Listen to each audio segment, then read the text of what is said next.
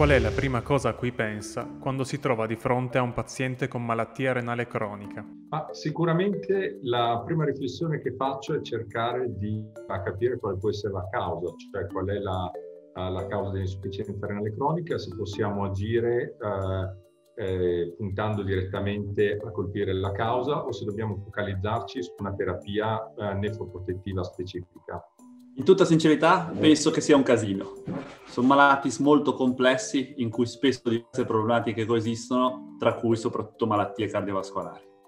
Quale relazione esiste tra malattia renale cronica e scompenso cardiaco? Una relazione molto ampia e complessa. Eh, la malattia renale cronica predispone o aggrava lo scompenso cardiaco e lo scompenso cardiaco predispone o aggrava la malattia renale cronica per cui sono una coppia micidiale messi insieme. Il, il crosstalk, come dicono gli inglesi, cuore-rene, è una realtà ben, ben stabilita, quindi inevitabilmente uh, una patologia cardiaca si ripercuote sulla funzionalità renale, una patologia renale si ripercuote su un'alterata uh, funzionalità cardiaca, quindi il rapporto è estremamente stretto. Social network per l'attività professionale, Twitter o LinkedIn? LinkedIn. Allora, io sono antisociale, in realtà. Eh, comunque tutto va bene, sono però profondamente ostile nei confronti della informazione scientifica solo via Twitter. I miei colleghi che leggono un Twitter e un tweet e dicono che hanno imparato qualcosa sono biasimevoli. Qual è, dal suo punto di vista, la classe di farmaci più promettente in ambito cardiaco, renale e metabolico? Sicuramente eh, gli inibitori di SGLT2 sono farmaci eh, appena venuti fuori che si pronunciano molto efficaci in questo tipo di contesto? Eh, sicuramente eh, i farmaci che si stanno affacciando in modo, modo importante sul futuro terapeutico sono gli SGLT2 inhibitors, le cosiddette glifosine. Quali sono i principali effetti di un trattamento con inibitori di SGLT2 sulla funzione renale? Globalmente li definirei nefroprotettivi, eh, anzi il mio collega in questo mi darà ragione.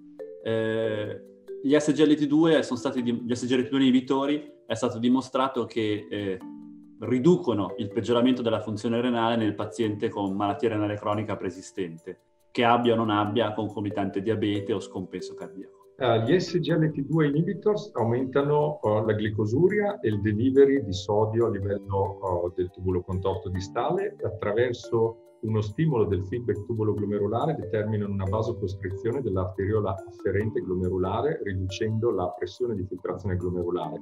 Questo determina in una fase iniziale una riduzione del filtrato glomerulare, però nel lungo termine un effetto uh, nefroprotettivo significativo. Webinar o congressi in presenza? Congressi in presenza. Ah, congressi in presenza, assolutamente. A me piace molto anche l'aspetto di interazione con i colleghi che negli webinar è purtroppo quasi del tutto perso. Nell'ambito dello scompenso cardiaco, qual è il principale punto di forza del trattamento con gli inibitori di SGLT2?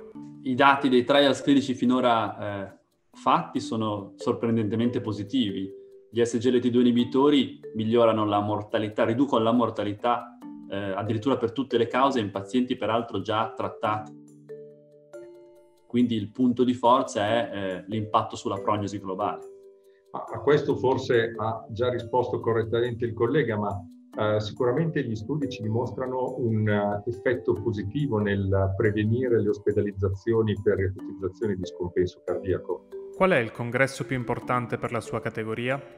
Il congresso della European Society of Cardiology, sicuramente, e poi per me che sono eh, votato allo scompenso cardiaco al congresso della Heart Failure Association della European Society of Cardiology. Eh, la, il congresso nazionale della Società Americana di Nefrologia sul versante eh, americano e il congresso della Società Europea di Nefrologia sul versante europeo.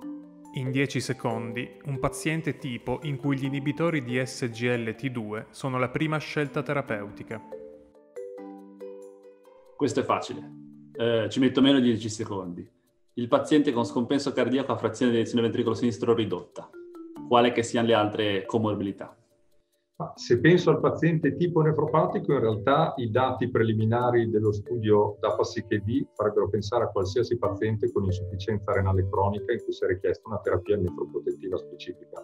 Nella scelta di un trattamento, qual è il suo ordine di priorità tra mortalità, ospedalizzazioni e qualità di vita? Sicuramente ciò che desidera il paziente, quindi partirei dalla qualità della vita desiderata dal paziente. Se poi penso a, ai miei ordini di importanza, sicuramente mortalità e ospedalizzazione. Dipende, dipende, eh, dipende da che t- patologia sto trattando. Per quanto riguarda lo scompenso cardiaco, eh, l'obiettivo primario è ridurre la mortalità, migliorare la prognosi. Se invece devo curare una persona con angina, eh, la mia primaria attenzione sarà per la qualità di vita, il sintomo. Città o campagna? Città durante la settimana, campagna il weekend. Città, città, città. New York City.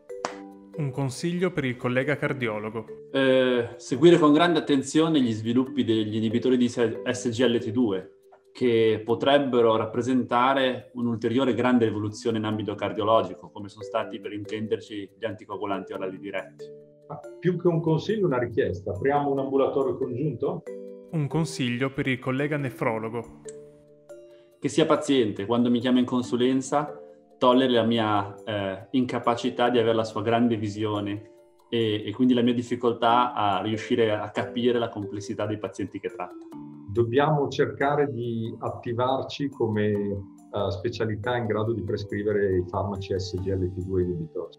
Ha già ricevuto il vaccino per la Covid-19?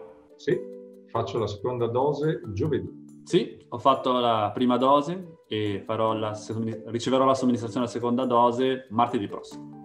Qual è, nell'ambito dei pazienti che incontra solitamente nella pratica clinica, la maggiore difficoltà legata alla pandemia?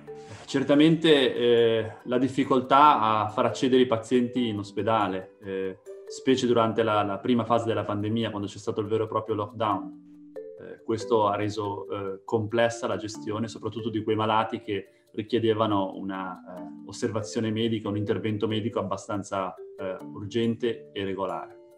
Ah, sicuramente la maggiore difficoltà del momento è quella di cercare di uh, conciliare le uh, limitazioni logistiche imposte dalla pandemia alle pressioni che, uh, imposte sul Servizio Sanitario Nazionale da parte dei pazienti Covid-19 negativi.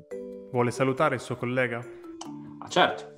Ciao, ci prenderemo un caffè insieme prima o poi. Sì, ciao. Spero di vederti presto di persona, incontrarti presto di persona a Genova.